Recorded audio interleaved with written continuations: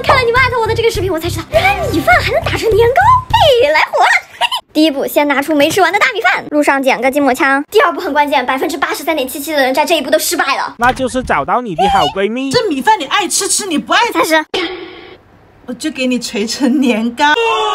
这个饭它在抖。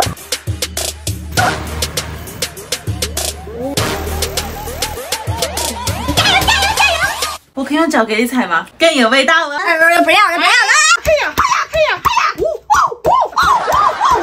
就这样，年糕就打好了哦。真的可以啦！